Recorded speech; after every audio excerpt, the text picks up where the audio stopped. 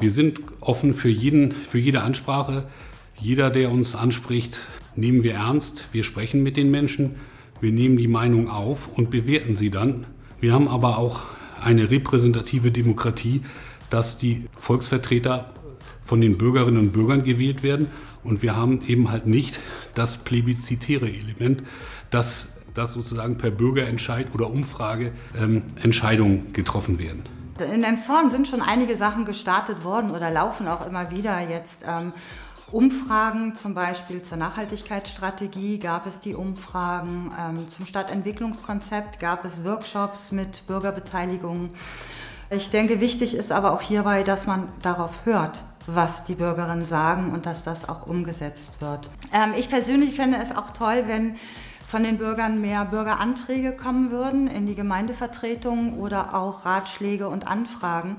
Wir haben bereits sehr gute Beteiligungsmöglichkeiten in dieser Stadt. Wir haben einen äh, sehr aktiven Kinder-Jugendbeirat zum Beispiel. Wir haben einen aktiven Seniorenrat. Dort können alle Emshornerinnen und Emshorner mitwirken. Das wollen wir unbedingt weiter fördern. Äh, diese Gremien haben auch ein hohes Gewicht in Emshorn. Das unterstützen wir ausdrücklich.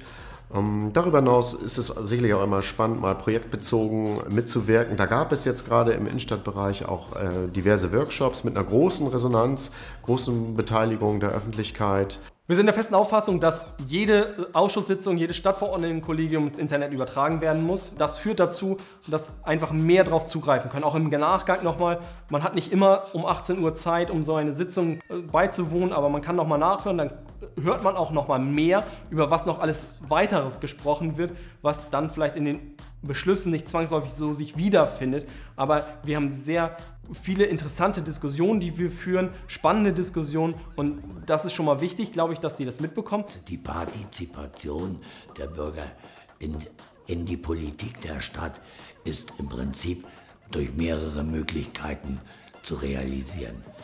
Wichtig ist für uns, dass wir Fragen bekommen, dass wir die mit einbringen können, dass wir Ideen bekommen, Daran hapert es manchmal und manchmal hapert es auch am Verständnis der Fragen.